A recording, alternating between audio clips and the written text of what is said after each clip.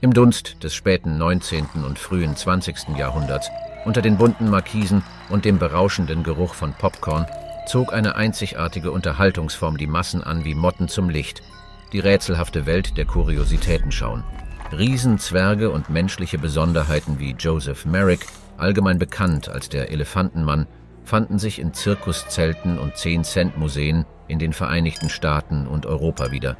Verwaltet von Persönlichkeiten wie P.T. Barnum, dessen Name zum Synonym für Unterhaltung und Spektakel geworden ist, versprachen diese Veranstaltungsorte das Außergewöhnliche und Unglaubliche zu zeigen.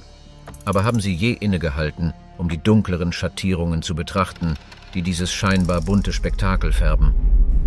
Und wie war das Leben für diejenigen, die im Rampenlicht standen, deren Körper und Leben als kuriose Attraktionen ausgestellt waren? Während wir uns in diesen fesselnden, aber oft beunruhigenden Bereich begeben, beachten wir die mahnenden Worte von Victor Hugo. Lachen ist die Sonne, die den Winter aus dem menschlichen Gesicht vertreibt. Es regt uns zum Nachdenken an. War das von Kuriositätenschauen hervorgerufene Lachen eine warme Sonne oder ein eisiger Schauer für diejenigen, die sich als seine Protagonisten wiederfanden? Begleiten Sie uns, während wir die Anziehungskraft, die Kontroversen und den unbestreitbaren Einfluss von Kuriositäten schauen, auf unser gemeinsames Verständnis von Menschlichkeit und Andersartigkeit analysieren. Willkommen im Tagebuch von Julius Caesar. Das Gewebe der Kuriositäten. Wie Englands Gerichte und Landschaften die Kuriositätenschau gebaren. In einer Zeit, in der öffentliche Hinrichtungen gleichzeitig als Familienausflüge dienten und Bärenhetze als hochwertige Unterhaltung galt, schien das Erscheinen der Kuriositätenschau in der englischen Landschaft des 16. Jahrhunderts der nächste logische Schritt in einem Landesdurst nach dem Ungewöhnlichen zu sein. Stellen Sie sich vor, Sie schlendern durch einen belebten elisabethanischen Jahrmarkt im Jahr 1589 und zwischen den Possen des Narren und den Melodien des Minnesängers begegnen Sie einem Zelt mit einem Schild, das verkündet Wunder der Natur, Kuriositäten von Gottes eigener Hand. Neugierig geworden entscheiden sie sich hineinzugehen. Hier hätten sie Sammlungen des Fremden und Bizarren gesehen, von bärtigen Frauen bis zu menschlichen Monstrositäten, wie man sie damals nannte, und sogar exotische Tiere wie Affen in winzigen Anzügen. Schon in dieser frühen Zeit ging es bei diesen Shows genauso um Geschichten erzählen wie um Spektakel. Showmen Oft selbstbegnadete Redner würden elaborierte Hintergrundgeschichten für ihre Darsteller erfinden. Ein Zwerg könnte als gefallener Adliger präsentiert werden, verflucht durch Hexerei. Eine Person mit körperlichen Missbildungen könnte als ein wilder Mann dargestellt werden, gefangen aus wilden Ländern. Die Praxis war nicht nur auf die ländlichen Jahrmärkte beschränkt. Der Hof von Königin Elizabeth VIII selbst beherbergte Darsteller mit einzigartigen physischen Eigenschaften. Nehmen Sie zum Beispiel den vielgefeierten Besuch eines gewissen Haarmädchens im späten 16. Jahrhundert, dessen seltene Erkrankung Hypertrichose sie von Kopf bis Fuß mit dicken Haaren bedeckte. Sie wurde zu einem Faszinosum unter den Eliten, da ihre Andersartigkeit in eine Form des Exotismus verwandelt wurde. Es ist kein Zufall, dass Richard Burbage, der berühmte Schauspieler und Vertraute von William Shakespeare, seine eigene Faszination für die einzigartigen menschlichen Zustände fand, die oft in diesen Shows präsentiert wurden. Man könnte argumentieren, dass Shakespeares Caliban aus Der Sturm von solchen Ausstellungen inspiriert wurde. Als die Jahre ins 17. Jahrhundert übergingen, fand das Konzept fruchtbaren Boden zum Wachsen. Während der englische Bürgerkrieg eine gewisse Nüchternheit ins öffentliche Leben brachte, brachte die Restaurationszeit den Appetit auf das Extravagante zurück. Samuel Pepys, der bekannte Tagebuchschreiber, schrieb über einen Besuch einer Kuriositätenschau im Jahr 1668, bei dem er einen Zwerg sah, der nicht mehr als 18 Zoll hoch stand und doch 17 Jahre alt war. Seine Beobachtung ist einer der frühesten Berichte, die unterstreichen, wie tief verwurzelt diese Shows in der englischen Kultur in der zweiten Hälfte des 17. Jahrhunderts geworden waren. Doch das Phänomen war nicht ohne seine Kritiker. Thomas Hobbes verhöhnte berühmt die öffentliche Faszination für Neuheiten und Monstrositäten und hinterfragte den gesellschaftlichen Durst nach dem Ungewöhnlichen über das Rationale. Aber dies war auch eine Zeit, die die Schriften von René Descartes gleichermaßen schätzte, dessen philosophische Untersuchungen über die Natur der Existenz als intellektuelles Gegenstück zur Kuriositätenschaus Untersuchung der Grenzen menschlicher Erfahrung gesehen werden könnten. Als die Aufklärung anbrach, begann eine neue Ära wissenschaftlicher Neugier, den dunklen Karnevalsaspekt der Kuriositätenshows zu überschatten. Gelehrte und Ärzte begannen, diese menschlichen Kuriositäten mit klinischem Interesse zu untersuchen, in der Hoffnung, die Anomalien der Natur zu kategorisieren und zu verstehen. Dies signalisierte jedoch keineswegs das Ende der Kuriositätenschau. Stattdessen entwickelte sie sich weiter. Showmen begannen, pseudowissenschaftliche Erklärungen in ihre Vorführungen einzubauen, um sowohl das Staunen als auch den Intellekt ihres Publikums anzusprechen. Also, wenn Sie das nächste Mal in London sind, vielleicht im British Museum, nehmen Sie sich einen Moment Zeit, um sich vorzustellen, was an seiner Stelle vor etwa 400 Jahren existiert hätte. Dort, in einem Zelt, das in den schlammigen Boden gesteckt wurde, würde das Erbe der Kuriositätenschau seine ersten wackeligen Schritte in die Annalen der Geschichte unternehmen, wo es, oft unsicher, aber immer trotzig, für die kommenden Jahrhunderte weitergehen würde. Das goldene Zeitalter des Schaubuden, Aufdeckung des dunklen Funkelns, der amerikanischen Kuriositäten des 19. Jahrhunderts. Als die ersten Lichtstrahlen der Dämmerung über die amerikanische Grenze brachen, entfalteten auch die Leinwand-Zirkuszelte ihre Flügel und somit auch ein eigenartiger und beständiger Aspekt der amerikanischen Unterhaltung, die Freakshows.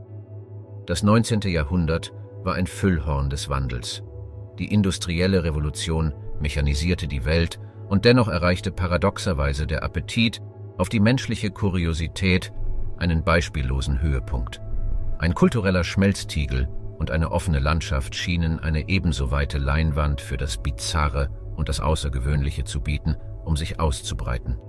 Es war 1842 und New York City wurde zum Zuhause von Barnums American Museum, einer Einrichtung, die ein Teil menschlicher Menagerie, ein Teil exotischer Zoo und ein anderer Teil Theater war, insgesamt ein Kaleidoskop von Kuriositäten. Aber das menschliche Element war der ultimative Zauber, den Barnum über die Zuschauer legte. Einer der außergewöhnlichsten Acts war Charles Sherwood Stratton, besser bekannt als General Tom Thumb. Dieser winzige Dynamo, der bei seiner ersten Aufführung nur 25 Zoll groß war, war ein Wunderkind der Performance. Er tanzte, er spielte und er imitierte sogar Napoleon. Es war nicht nur seine Größe, die die Herzen eroberte, es war seine größere als das Leben Persönlichkeit. Und wer könnte das Treffen mit Königin Victoria im Jahr 1844 vergessen? Thumb hatte alle am Hof verzaubert und es sogar geschafft, ein Kichern aus der normalerweise zusammengesetzten Königin herauszulocken. Barnums Museum war ein seltsames Puzzle menschlicher Erzählungen. Da war die bärtige Dame, Annie Jones, die im zarten Alter von fünf Jahren einen Bart hatte, der die meisten erwachsenen Männer beschämen würde. Neben ihr war Isaac W. Sprague, das lebende Skelett, der trotz gierigem Essen nie mehr als 90 Pfund wog. Es war nicht einfach eine Darstellung von physischen Exzentrizitäten. Es war ein sorgfältig choreografiertes Theater der Menschlichkeit, gewürzt mit genau der richtigen Menge an Exotik und Intrigen, um das Publikum nach mehr verlangen zu lassen. Aber Barnum war bei seinem Bestreben, dem Leben Kuriositäten eine Bühne zu bieten, keineswegs allein. Die Dime-Museen die in dieser Ära entstanden, waren beliebte Attraktionen, kuratiert von Impresarios wie Levi Lyman und Colonel William F. Cody, ja, der Buffalo Bill selbst. Diese Orte zeigten oft Menschen wie Jojo, den hundeartigen Jungen, geboren als Fedor Jeftichev, der an Hypertrichose litt, was ihm ein von dicken Haaren bedecktes Gesicht gab. Jojos Ausstellung beinhaltete eine fantastische Erzählung, die ihn als Wilden aus den Weiten Russlands darstellte. Geschichten wie diese erfassten die Vorstellungskraft einer Bevölkerung, die sowohl von Darwins Evolutionstheorien als auch von den Möglichkeiten des Wilden Westens begeistert war. Dann gab es Chang und Eng Bunker, die ursprünglichen siamesischen Zwillinge, verbunden an der Brust.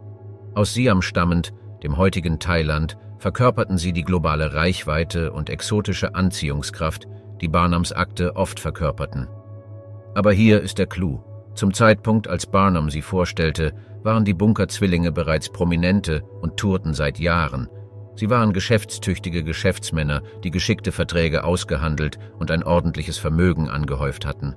Indem er sie beherbergte, fügte Barnum lediglich eine weitere Schicht Lack zu einem bereits polierten Akt hinzu und entfachte das öffentliche Interesse mit seinem unübertroffenen Geschick für Geschichtenerzählen. Sie zogen sich aus dem Showgeschäft zurück, kauften eine Plantage in North Carolina und gründeten Familien, alles, während sie verbunden waren.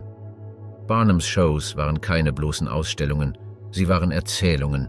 Jeder Akt hatte eine Geschichte, oft mit Barnums einzigartigem Flair für das Grandiose bestickt. Schaubudenkünstler waren in gewissem Maße die Prominenten ihrer Zeit.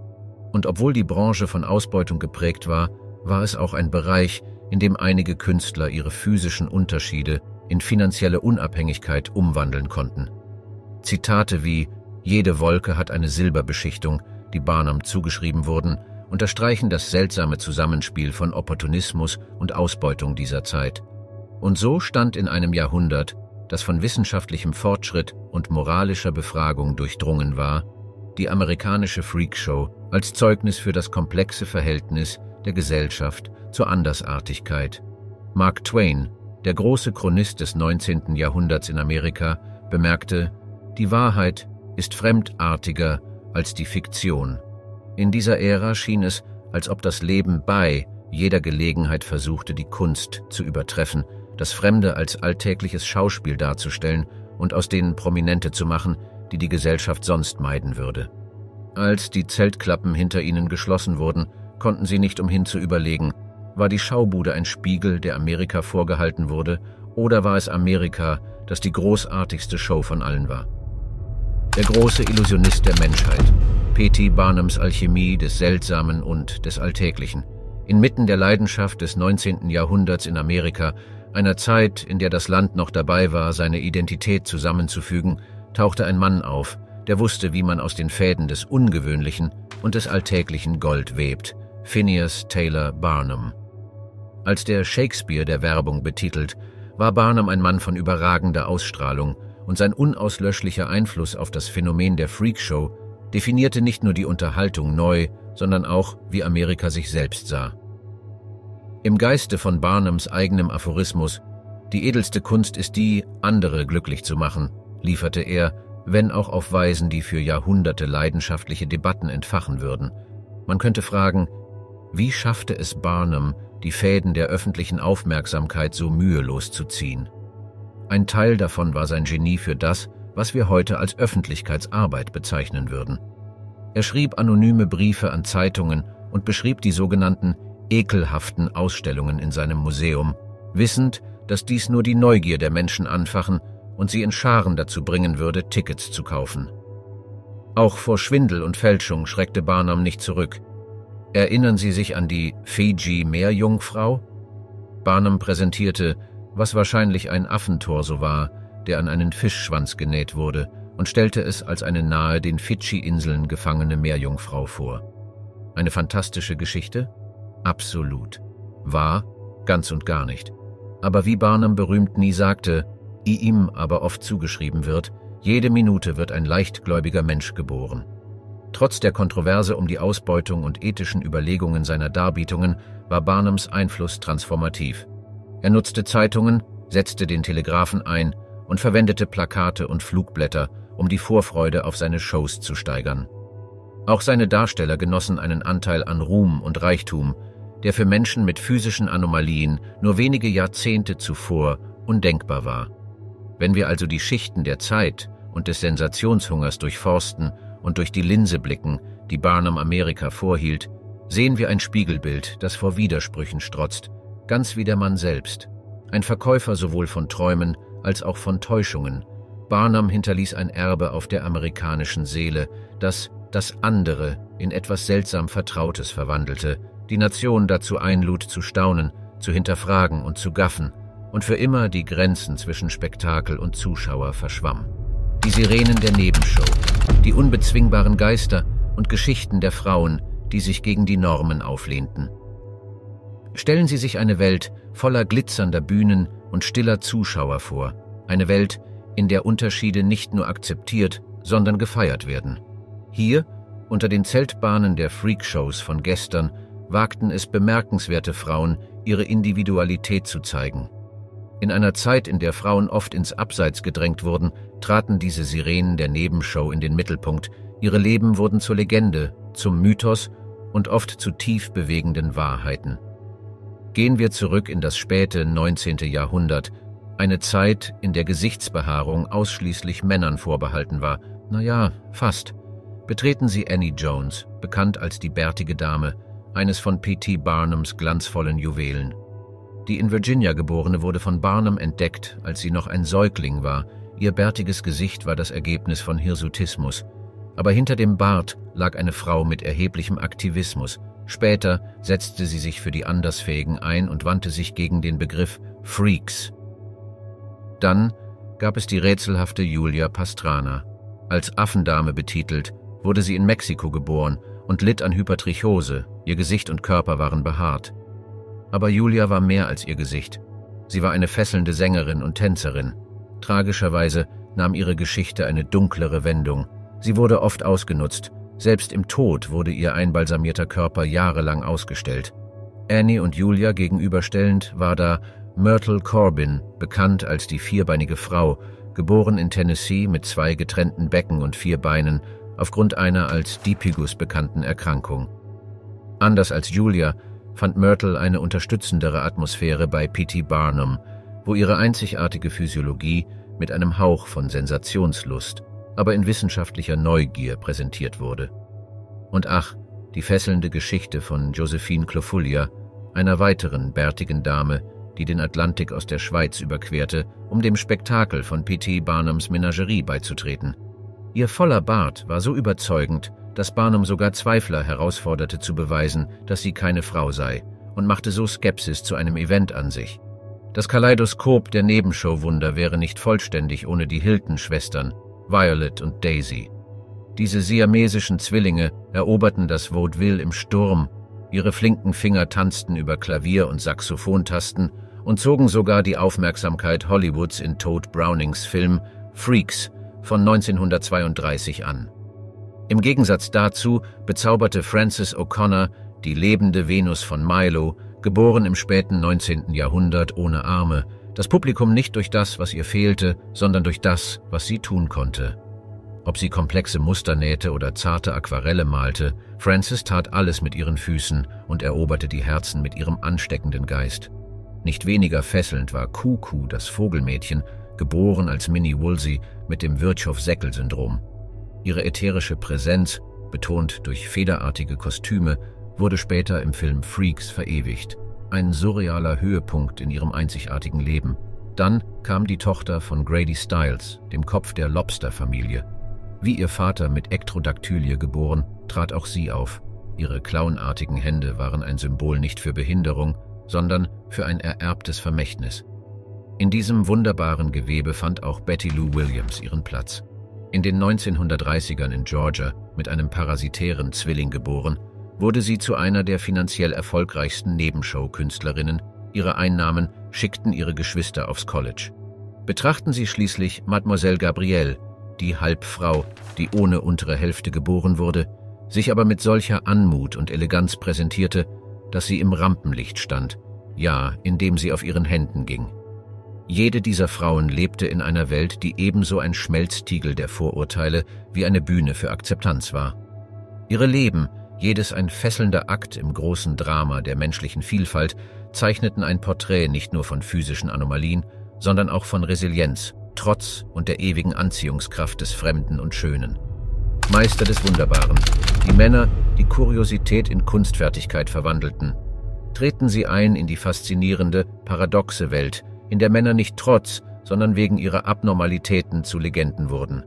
Sie waren die Meister des Wunderbaren, die Männer, die medizinische Lehrbücher und soziale Tabus herausforderten, jeder auf seine unverwechselbare Art. Betrachten Sie zum Beispiel Grady Stiles Jr. oder Lobster Boy, dessen Finger und Zehen aufgrund einer als Ektrodaktylie bekannten Erkrankung wie Klauen miteinander verschmolzen waren. Aus Pittsburgh stammend wurde Styles zu einem Star, der ein familiäres Erbe der Beeinträchtigung in ein Zirkusspektakel verwandelte. Doch sein Leben war auch eine dunklere Erzählung, voller Gewalt und Tragödie, wie die verdrehte Handlung eines südgotischen Romans. Über die Bühne schreitet Isaac W. Sprague, das lebende Skelett. Er trotzte der Nahrung, sein Körper weigerte sich Gewicht zuzunehmen aufgrund einer nicht diagnostizierten Erkrankung. In der Mitte des 19. Jahrhunderts entschied sich dieser in Massachusetts geborene Mann für niemand anderen als P.T. Barnum zu arbeiten. Hier eine Kuriosität. Trotz seiner zerbrechlichen Figur wurde Sprague für seine Stärke beim Ausführen von Aufgaben, die das Heben erforderten, gelobt. Ah, das Spektakel wird global, mit dem Auftreten von Lalou, geboren in Indien mit einem parasitären Zwilling, der aus seiner Brust herausragte. Dieser faszinierende Mensch nahm sein Schauspiel mit ins Ausland und schloss sich den Reihen des Ringling Brothers und Barnum and Bailey Circus an. Als eine Art kultureller Botschafter nutzte Lalou seine Plattform, um westliche Zuschauer über seine Heimat zu informieren, indem er seinen Zwilling oft in traditionelle indische Kleidung kleidete.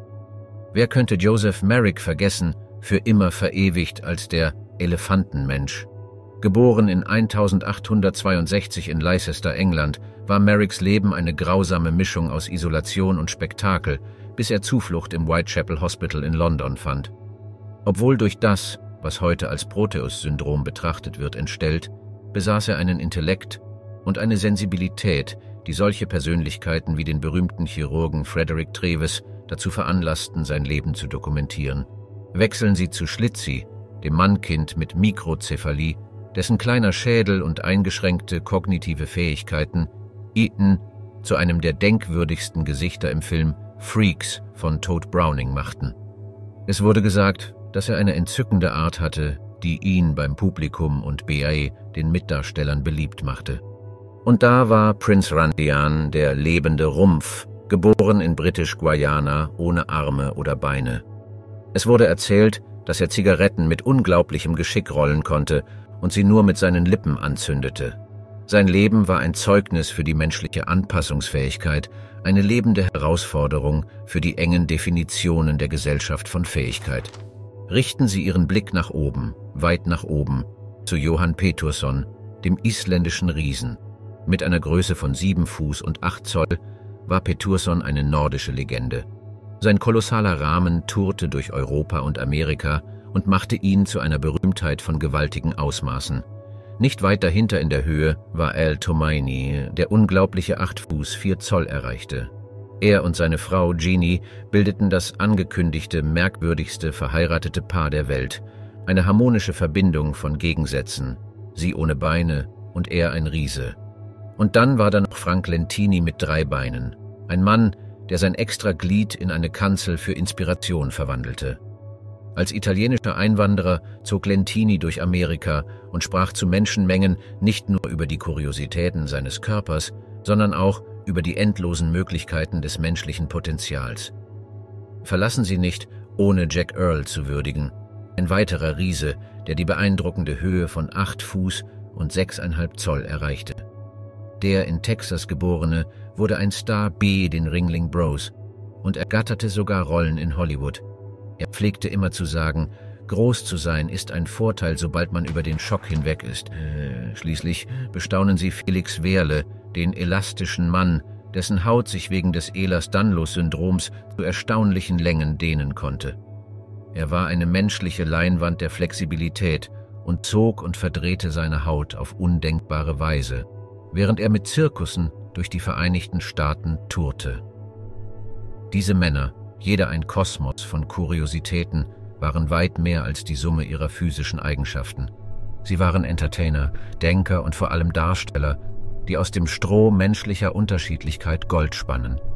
Sie waren die wahren Meister des Wunderbaren, die durch die Korridore der Zeit widerhallen und uns daran erinnern, dass manchmal die außergewöhnlichsten Geschichten auf dem Körper geschrieben werden. Ränder des Ruhms, die inneren Theater der Kuriositätendarsteller. In den vergoldeten Schatten von Karnevalszelten und im Duft von Popcorn und Zuckerwatte existierte eine Welt innerhalb einer Welt, ein Reich jener, deren Körper ihre Lebensläufe waren und deren Seelen oft ein Nachgedanke waren. Dennoch ist es wichtig, innezuhalten und über die Erfahrungen dieser einzigartigen Künstler nachzudenken, die am Rande des Ruhms lebten. Annie Jones, Barnums berühmte bärtige Dame, sah ihren einzigartigen Gesichtshaar als Weg zur Ermächtigung. Geboren in Virginia im Jahr 1865, wurde Jones bereits mit neun Monaten zu Barnums amerikanischem Museum gebracht. Sie nutzte ihre Plattform, um die gesellschaftlichen Ansichten über Geschlecht und Schönheit in Frage zu stellen. Die Ironie ist reichhaltig. Annie, die das Stricken wie eine Dame beigebracht bekam, hinterfragte die Stereotypen, die ihre Darbietung scheinbar förderte. Ihr Bart war nicht nur Gesichtshaar, es war ein Manifest des Selbstausdrucks. Über den Atlantik und durch die Tore der Zeit stolpern wir über Joseph Merrick, der für die Nachwelt als der Elefantenmensch bekannt ist. In London, im späten 19. Jahrhundert lebend, war Merrick das Paradebeispiel für Dualität. Von skrupellosen Managern ausgenutzt, suchte er schließlich Zuflucht im Whitechapel Hospital in London unter der Obhut von Sir Frederick Traves. Hier eine Kuriosität. Merrick liebte es, mit seinen deformierten Händen komplexe Modelle von Gebäuden zu bauen, als würde er eine Welt schaffen, in die er perfekt hineinpasste. Traves Tagebücher zeigen, dass Merrick nie das Gefühl hatte, vom Krankenhaus ausgenutzt zu werden und es als Zufluchtsort ansah, wo er den gnadenlosen Blicken auf der Straße entkommen konnte. Myrtle Corbin, die Frau mit vier Beinen, bietet eine weitere fesselnde Geschichte. Geboren in Tennessee im Jahr 1868, hatte sie eine als Dipygus bekannte Erkrankung, die zu zwei getrennten Becken und vier Beinen führte. Ursprünglich von Barnum rekrutiert, schloss sie sich später der Coney Island Dreamland Sideshow an. Corbin heiratete und hatte Kinder und sprach offen über ihr intimes Leben um die Vorurteile der Gesellschaft über ihren Körper herauszufordern. Sie sah ihre Zeit auf der Bühne als Plattform, um für diejenigen mit Unterschieden einzutreten, um zu zeigen, dass die Alltäglichkeiten des Lebens ebenso außergewöhnlich sein können, wenn sie durch eine unkonventionelle Physis navigiert werden. Schlitzi, der im 1932 Film Freaks von Todd Browning auftrat, hatte eine recht eigenartige Bindung zum Regisseur. Browning, der viel Zeit in Zirkussen verbracht hatte, bot Schlitzi eine Art familiärer Liebe und Zugehörigkeit an. Schlitzi selbst konnte seine Erfahrungen aufgrund von geistiger Behinderung kaum artikulieren, aber es wurde gesagt, dass er den Applaus und die Interaktion mit dem Publikum genoss und jede Aufführung als geteilten Moment menschlicher Interaktion sah, der die Grenzen von Sprache und Erkenntnis überwand. Und im Echo des Ruhms finden wir Grady Stiles, den Lobster Boy in eine Familie hineingeboren, die über mehrere Generationen hinweg an Ektrodaktylie litt, betrachtete Styles seine Missbildung als Erbe und nicht als Einschränkung. Es war eine Art Initiationsritus in seiner Familie, sich dem Kuriositätenzirkus anzuschließen. Trotz seiner gewalttätigen Neigungen wurde seine Rolle als Darsteller in seiner eigenen Erzählung nicht als ausbeuterisch angesehen, sondern als Bestätigung der familiären Identität. Ein außergewöhnlicher Punkt, den man bedenken sollte, ist die von ihnen verwendete Sprache. Diese Darsteller bezeichneten sich selbst als Freaks, übernahmen einen Begriff, der eigentlich dazu gedacht war, sie herabzusetzen, und trugen ihn stattdessen als Abzeichen der Seltenheit und des Wunders. Wie Francis O'Connor, die armlose, lebende Venus von Milo, es einmal ausdrückte, ich bin anders, aber ich habe meine Andersartigkeit zu meiner Stärke gemacht unter dem Banner der Moral, das ethische Spektakel hinter den Kulissen. Stellen Sie sich eine Zeit vor dem Leuchten von Smartphones und dem Summen digitaler Bildschirme vor, in der Kuriositäten und Seltsamkeiten ihre Bühne unter dem Zeltstoff großer, kunstvoll verzierter Zelte fanden. Die Freakshow, wie sie populär bekannt war, bewegte sich auf Messers Schneide zwischen Spektakel und Skandal. Dennoch bleibt sie eine der moralisch umstrittensten Unterhaltungsformen und dieser ethische Drahtseilakt wurde stets mit nackten Füßen begangen, hinterließ Spuren, die schwer zu verwischen sind. Im Herzen des 19. Jahrhunderts in den Vereinigten Staaten baute P.T. Barnum sein Reich der Wunder auf. Er wusste, wie man gesellschaftliche Vorurteile in verkaufte Tickets umwandelt. Er präsentierte dem Publikum Chang und Eng Bunker, die siamesischen Zwillinge, die an der Brust verbunden waren, und lud die Zuschauer ein, über ihr tägliches Leben, ihre Intimitäten und sogar ihre Moral zu spekulieren. Doch unter der Oberfläche waren hier zwei Männer, die einen Weg gefunden hatten, ein geteiltes Leben zu führen, Land zu besitzen und Schwestern zu heiraten.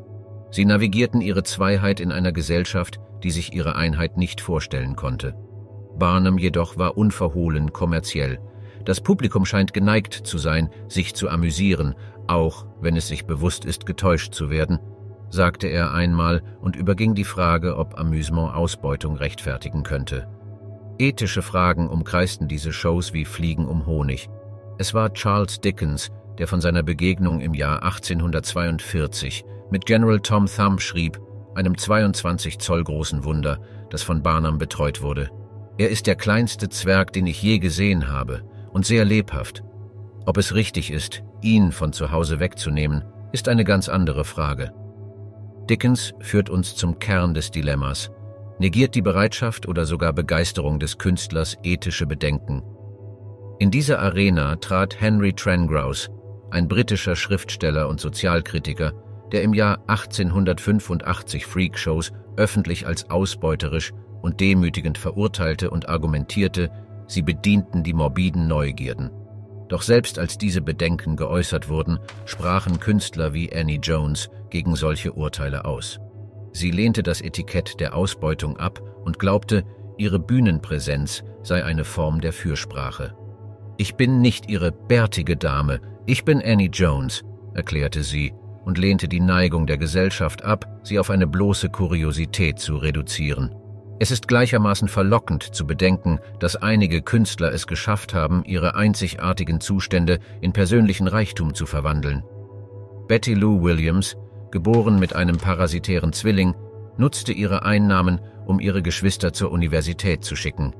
Die ethischen Gewässer werden noch trüber, wenn man wirtschaftliche Ermächtigung in Betracht zieht. Schließlich war es für viele ein seltener Weg zur finanziellen Unabhängigkeit in einer Welt, die sonst feindselig gegenüber ihrer bloßen Existenz war.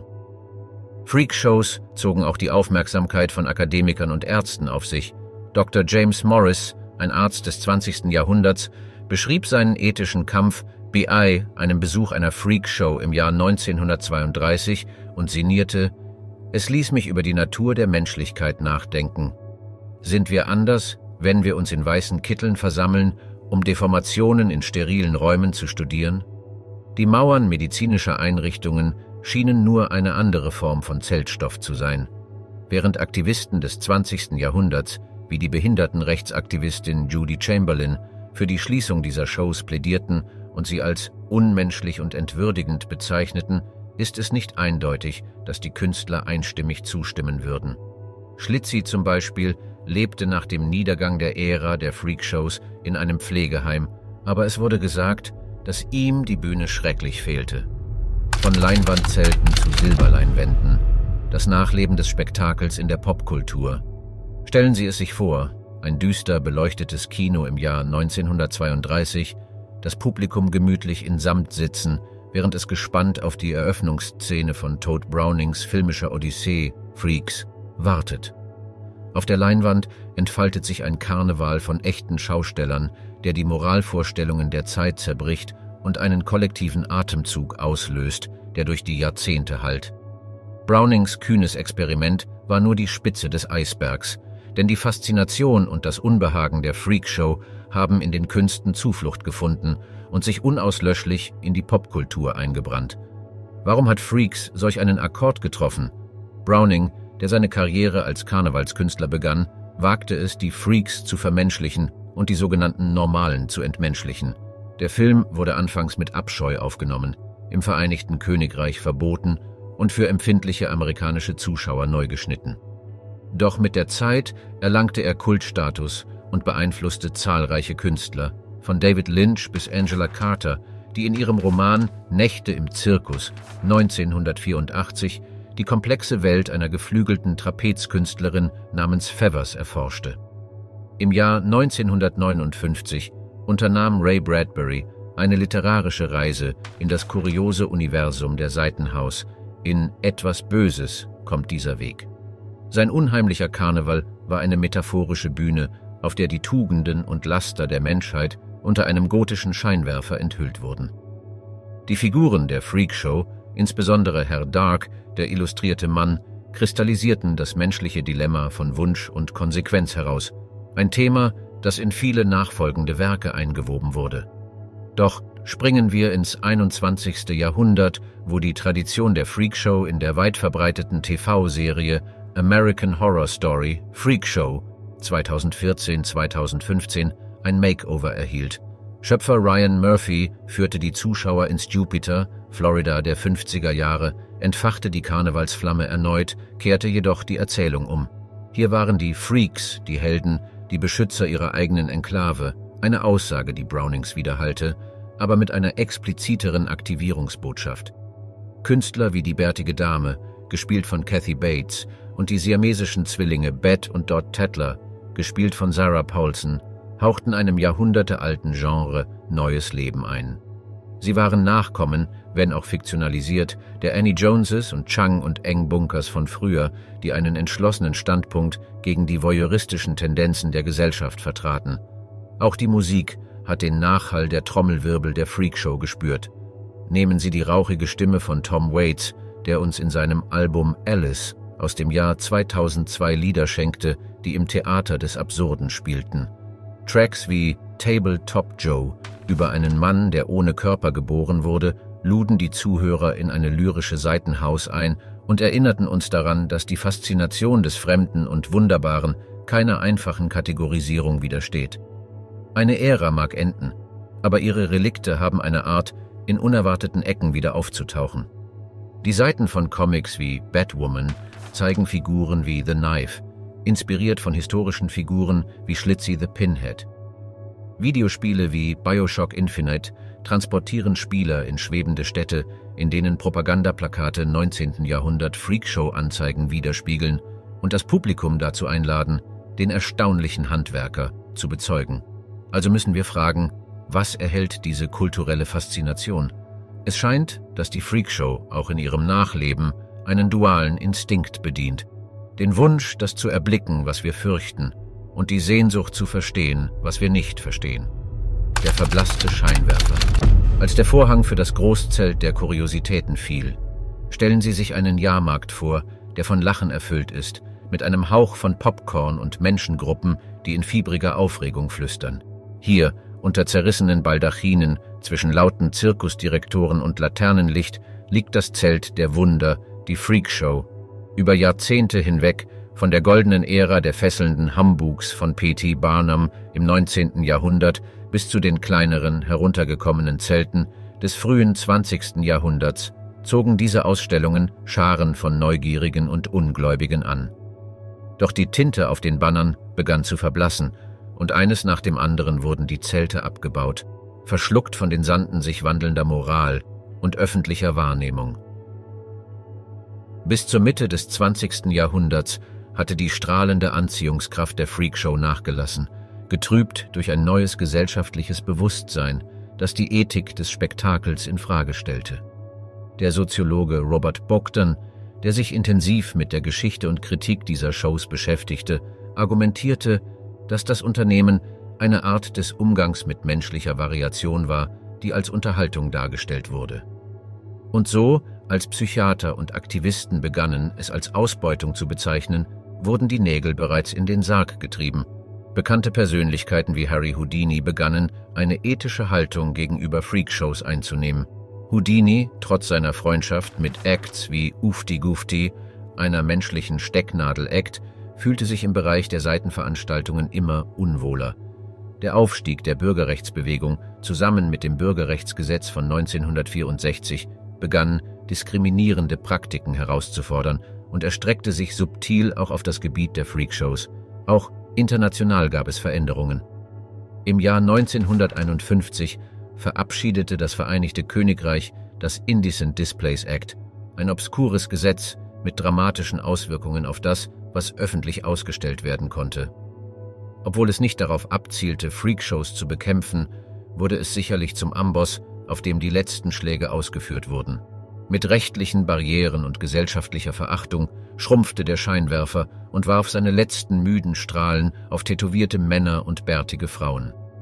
Auch die Medien spielten bei diesem tektonischen Wandel eine Rolle. Während Filme wie Toad Brownings Freaks ihre Charaktere paradoxerweise humanisierten und dämonisierten, wurde das Fernsehen zu einem Herd, an dem die Gesellschaft ihre Hände wärmte und begegnete medizinischen Kuriositäten in einem Kontext wissenschaftlicher Untersuchung statt voyeuristischem Nervenkitzel.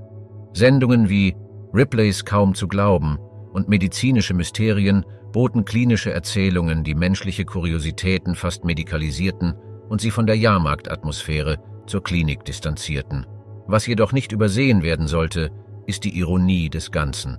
Während der Hochzeit der Freakshow führten Chirurgen wie Dr. James Marion Sims, der sogenannte Vater der modernen Gynäkologie, entsetzliche Experimente an Sklaven durch und fügten im Namen der Wissenschaft unermessliches Leid zu. Doch es waren Wissenschaft und Moral, die schließlich das Licht der Seitenveranstaltung löschen würden. Die Statue von Dr. Sims in New York wurde erst im Jahr 2018 entfernt. Ein erschreckendes Versäumnis des gesellschaftlichen Gedächtnisses und der ethischen Konsistenz. Das Skalpell des Chirurgen und das Ende der Kuriositätenschau.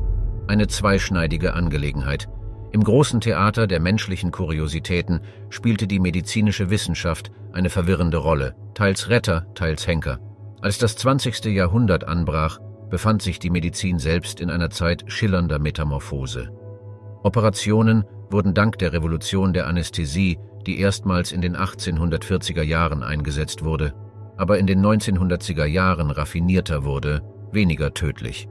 Ebenso bot das Gebiet der Arzneimittel neue Hoffnungen für die Behandlung, mit Meilensteinen wie der Entdeckung von Insulin im 1921 für Diabetes. Aber was bedeutete das für die Zeltbewohner der Kuriositätenschau, die Männer und Frauen, deren anatomische Anomalien zur Unterhaltung erhoben wurden? Vielleicht liegt eines der anschaulichsten Beispiele in der Geschichte von Joseph Merrick, allgemein bekannt als der Elefantenmann, Ende des 19. Jahrhunderts in London von Chirurg Frederick Trevis entdeckt, hatte Merrick schwere Deformationen, von denen angenommen wurde, dass sie auf das Protus-Syndrom zurückzuführen waren – es war Traves, eingehüllt in den medizinischen Zeitgeist, der Merrick unter seine Fittiche nahm und ihm im Londoner Krankenhaus Zuflucht bot. Eine neugierige Dynamik entfaltete sich. Merricks Leben, durchdrängt von Objektivierung, wurde drastisch durch den Eingriff einer medizinischen Einrichtung verändert. Der ethische Ton dieser Erzählung war ein Vorbote für kommende Ereignisse. Gleichzeitig, als die Techniken zur Behandlung von Zuständen wie Lippen-, Kiefer-, Gaumenspalten und Gliedmaßenanomalien verbessert wurden, begann die Öffentlichkeit eine beunruhigende Frage zu stellen. Waren die Wunder, für die sie bezahlten, heilbar? Und wenn ja, war es ethisch, sie zur Schau zu stellen? Die siamesischen Zwillinge, Chang und Eng Bunker, die im 19. Jahrhundert lebten, hätten im 20. Jahrhundert chirurgisch getrennt werden können. Ihre Leber war zwar verschmolzen, aber sie hatten getrennte Kreislaufsysteme, ein kritischer Faktor für eine erfolgreiche chirurgische Trennung. Hätten sie als Wunder bezeichnet werden sollen, wenn Wunder medizinisch rückgängig gemacht werden könnten, stellen sie diese ethische Überlegung der Popularisierung der Psychologie gegenüber. Sigmund Freuds Theorien des Unbewussten hatten sich in der Öffentlichkeit durchgesetzt und Zustände, die zuvor als bloße Kuriositäten betrachtet wurden, als Gegenstände für die medizinische Erforschung gerahmt. Die Dialoge änderten sich. Wörter wie Neurose und Komplexe sickerten in den täglichen Wortschatz ein und rahmten neu, wie die Gesellschaft Individuen mit sowohl physischen als auch psychischen Zuständen betrachtete. Diese allmähliche Veränderung begann, die Gezeiten gegen das goldene Zeitalter der Kuriositätenschauen zu wenden. In den 1930er Jahren, als Antibiotika wie Prontosil ihr Debüt gaben, klang das Totenglöckchen leise im Hintergrund, kaum hörbar über der Jazzmusik der Ära, aber dennoch resonant. Dr. Harry J. Heiselden, ein Arzt aus Chicago, entfachte Anfang des 20. Jahrhunderts einen Sturm der Entrüstung, als er sich für die Euthanasie behinderter Säuglinge aussprach, eine Ansicht, die im Aktion T4-Programm des nationalsozialistischen Deutschland pervers verfälscht wurde. In den Vereinigten Staaten wurden Heiseldens Ansichten weitgehend verurteilt, doch sie markierten einen Moment, in dem medizinische Ethik und gesellschaftliche Werte kollidierten. Eine Kollision, die schließlich zum Zerfall der Kuriositätenschau als kulturellem Fixpunkt beitrug. Vielleicht verkörperte das Aufkommen der plastischen Chirurgie diese Entwicklung am deutlichsten. Techniken, die während des Ersten Weltkriegs verfeinert wurden, um entstellte Soldaten zu behandeln, hatten bis zu den 1950er Jahren zivile Anwendungen. Hätte Grady Stiles Jr., bekannt als Lobster Boy, in einer Zeit gelebt, in der chirurgische Eingriffe seine verschmolzenen Finger hätten behandeln können, wäre er dann immer noch ein Kuriositätenakt gewesen. Und so, während die Wissenschaft voranschritt, während Äther moderneren Anästhetika Platz machte, während psychiatrische Theorien in tatsächlichen Behandlungen Gestalt annahmen, schien das Kuriositätenschauzelt zunehmend anachronistisch, eine Zeitkapsel aus einer weniger erleuchteten Ära. Das Skalpell und das Mikroskop, diese beiden Symbole des medizinischen Fortschritts, warfen ein neues Licht auf die Leinwandwände eines verblassenden Schauspiels. Und in diesem Licht tanzten Fragen, Fragen, die am Gewissen einer Gesellschaft zerrten, die am Rande eines neuen Verständnisses des Wunderbaren und des Ausbeuterischen stand. Wunder jenseits von Grenzen, die weltweite Odyssee menschlicher Kuriositäten. Als die von der Dämmerung getönten Lichter von P.T. Barnums Zirkuszelt in Amerika erloschen, warfen die flackernden Flammen von Öllampen unheimliche Silhouetten gegen zerrissene Leinwände in fernen Ländern. Sehen Sie das Schauspiel menschlicher Kuriositäten, die sogenannten Freakshows, war nicht auf die Grenzen der neuen Welt beschränkt. Jede Ecke des Globus hatte ihre eigene Version der Nebenschau und webte ein neugieriges Gewebe menschlicher Wunder, jedes einzigartig für die Kultur und Zeit, in der sie lebten. Reisen Sie nach Osten zu den 10-Cent-Museen Japans im frühen 20. Jahrhundert, wo ein Mann namens Kokichi Mikimoto Scharen von Zuschauern anzog, nicht wegen körperlicher Anomalien, sondern wegen dem Wunder der kultivierten Perlen. Man könnte denken, Mikimoto wäre an den Ufern und würde Austern pflegen, aber sein Schauspiel ergriff die japanische Vorstellungskraft. Diese 10-Cent-Museen oder Misemono zeigten alles, von technologischen Wundern bis hin zu menschlichen Kuriositäten und balancierten Tradition und Schauspiel in einem Land, das sich der Modernisierung zuwandte. Dann segeln sie weiter nach Indien, das geheimnisvolle Land, aus dem Lalu stammt, der Mann mit einem parasitären Zwilling, der aus seiner Brust ragte. Lalu war kein Einzelfall im indischen Kontext. Indien hatte eine lange Tradition von Straßenkünstlern, Bahurupis, die sich als Götter, Tiere oder Kuriositäten verkleideten. Ihre Aufführungen waren mehr als nur Unterhaltung, sie galten als eine Form des sozialen Kommentars, der in alte Epen und Folklore eintauchte. Indiens Beziehung zum Abnormen war komplex, eine Mischung aus Aberglauben, religiösen Überzeugungen und aufkeimender wissenschaftlicher Neugier. Stellen Sie sich jetzt vor, Sie überqueren das Mittelmeer und landen auf den Kopfsteinpflasterstraßen von Paris. Es ist die Belle Epoque, die Zeit zwischen dem späten 19. und frühen 20. Jahrhundert, und Europa ist von Orientalismus besessen. Die Exposition Universelle von 1889 zeigte den Jardin d'Agronomie Tropicale, einen Menschenzoo, eine noch verstörendere Facette des Sideshow-Spektakels, bei dem Menschen aus kolonisierten Regionen ausgestellt wurden – diese europäische Variante der Freakshow hatte einen Anstrich wissenschaftlicher Untersuchung, war aber von Imperialismus und rassistischen Vorurteilen geprägt. Und vergessen wir nicht das Phänomen des Théâtre Anatomique im frühmodernen Europa. Hierbei handelte es sich um Sezierungen, die für ein zahlendes Publikum durchgeführt wurden, in der Regel mit den Leichen von hingerichteten Verbrechern oder, in seltenen Fällen, medizinischen Anomalien. Rembrandts berühmtes Gemälde die Anatomiestunde des Dr. Nikolais Tulp zeigt einen solchen Moment, Neugier, Bildung und Schauspiel in einem einzigen Rahmen. Wir durchstreifen diese unterschiedlichen Landschaften, jede mit ihrem eigenen einzigartigen Lexikon von Wundern und Schrecken, und doch bleibt das Wesen verblüffend universell. Es ist, als ob menschliche Neugier eine Konstante ist, ein Polarstern, der uns durch verschiedene Kulturen und Zeiten leitet. Vielleicht hat Goethe es am besten ausgedrückt, als er bemerkte, die Menschen neigen dazu, sich gegen das Abnorme zu stellen.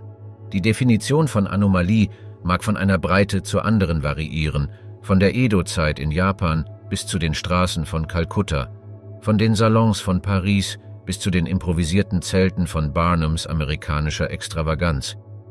Aber der Drang zu starren, sich zu wundern, zurückzuschrecken und manchmal zu verstehen, ist so menschlich wie die Kuriositäten, die wir hinter Glas setzen oder auf einer Bühne in den Mittelpunkt stellen. Spiegel und Bildschirme, das sich entwickelnde Spektakel moderner Wunder. Der Vorhang der Freakshow hat sich nie wirklich geschlossen. Er hat sich einfach verwandelt, schlüpfte in neue Formen und brachte seine Farben auf zeitgenössische Leinwände. Als die zerrissenen Zelte der vergangenen Jahre in die Seiten der Geschichtsbücher zurückgingen, fanden die Wunder und Kuriositäten neue Bühnen, von neonbeleuchteten Promenaden bis zu pixelierten Bildschirmen. Die Luft prickelt noch immer mit der elektrischen Ladung menschlicher Neugier, trägt aber einen anderen Duft, eine Mischung aus Nostalgie und digitaler Unmittelbarkeit. Reisen wir zurück in die 1970er Jahre nach New Yorks Coney Island, wo ein Mann namens Dick Zigun die moderne Wiederbelebung der Sideshow entfachte. Zigun, ein Drama-Absolvent von Yale, fand seine Berufung unter Schwertschluckern und Feuerschluckern. Bei Coney Island, USA, gegründet im 1980, war das Credo Freaks, Wunder und menschliche Kuriositäten, aber es war mehr eine Feier als eine Ausbeutung. Wir sind keine Freakshow, es geht uns um Selbstbestimmung, verkündete Ziegen. Er stand Schulter an Schulter mit Legenden wie Melvin Burkhardt, bekannt als der menschliche Holzklotz, und gab Geheimnisse weiter wie heilige Texte. Springen wir jetzt vor zum Beginn des Reality-TV in den 1990er und 2000er Jahren. Das Spektakel verwandelte sich in Shows wie Ripley's Believe It or Not, moderiert von Dean Kane, und das Popkulturphänomen Guinness World Records Primetime. Diese Shows stellten nicht nur Menschen mit besonderen Talenten oder körperlichen Eigenschaften vor, Sie machten sie über Nacht zu Berühmtheiten. Chris Walton, bekannt für die längsten Fingernägel der Welt, fand sich nicht in einer Sideshow, sondern auf den glänzenden Seiten des Guinness World Records und in The Oprah Winfrey Show. Apropos Oprah, wir dürfen den Talkshow-Zirkus nicht übersehen, wo Geschichten von menschlichem Interesse oft denselben Zweck erfüllen wie alte Freakshows. Sie laden uns ein, das Ungewöhnliche und Außergewöhnliche zu betrachten – Phineas Gage, der Eisenbahnarbeiter des 19. Jahrhunderts, der überlebte, als ein Metallstab durch seinen Schädel ging, wäre wahrscheinlich ein Talkshow-Star geworden, wäre er ein Jahrhundert später geboren. Statt eines Marktschreiers, der ruft, Hierher, schaut her, würden sie die sanften Töne eines Moderators hören, der sagt, als nächstes ein Mann, der allen Widrigkeiten trotzte. Und oh, das Spektakel beschränkt sich nicht nur auf das Fernsehen, hier kommt YouTube ins Spiel, wo Kanäle wie Special Books bei Special Kids Menschen mit einzigartigen Bedingungen eine Plattform bieten, ihre eigenen Geschichten zu erzählen. Sie werden nicht mehr von einem Showman erzählt, sie übernehmen die Kontrolle über ihre eigene Erzählung. Das Konzept der Handlungsfähigkeit hat sich dramatisch verändert. Vorbei sind die Tage, als Joseph Merrick, der Elefantenmann, keine andere Wahl hatte, als anderen zu erlauben, seine Geschichte zu bestimmen. Heute hätte er sein Leben in seinen eigenen Worten für ein Publikum von Millionen floggen können. Mischen wir all das zusammen und gießen es in den Kelch der Moderne, hier haben Sie einen Mix, der gleichermaßen beunruhigend und ermächtigend ist. Ist es Ausbeutung oder Ausstellung? Ist es immer noch eine Freakshow, wenn der Freak auch der Showman ist? George Bernard Shaw sinnierte einmal, das Leben hört nicht auf, lustig zu sein, wenn Menschen sterben, genauso wenig wie es aufhört, ernst zu sein, wenn Menschen lachen. Ebenso hört die Freakshow nicht auf zu provozieren und zu verwirren, nur weil ihre Bühne gewechselt hat. Während der virtuelle Vorhang auf unserer Erkundung durch die labyrinthische Welt der Freakshows schließt, von den Sägespänen des P.T. Barnums Großausstellungen bis zu den pixelierten Bühnen von YouTube, bleiben wir im gespenstischen Schein eines Spektakels, das nie wirklich endet. Es wandelt sich, erfindet sich neu und taucht oft an Orten auf, wo wir es am wenigsten erwarten. Erinnern Sie sich, es war P.T. Barnum selbst, der die unsterblichen Worte prägte, die edelste Kunst ist die, andere glücklich zu machen. Während wir das Licht in diesem unheimlichen Theater dimmen, überlegen Sie, ist nicht das Leben selbst die größte Freakshow von allen? Ein unaufhörlicher Umzug, in dem wir alle, wissentlich oder unwissentlich, unsere Rolle sowohl als Zuschauer als auch als Spektakel spielen und versuchen zu verstehen, was es bedeutet, wunderschön, tragisch, unvergesslich menschlich zu sein. Also hier ist für die Wunder, die Außenseiter und die Missverstandenen, mögen ihre Geschichten weiterhin faszinieren und verwirren, die Grenzen des Normalen und des Außergewöhnlichen in Frage stellen, während wir alle im ewigen Zirkusring des Lebens tanzen –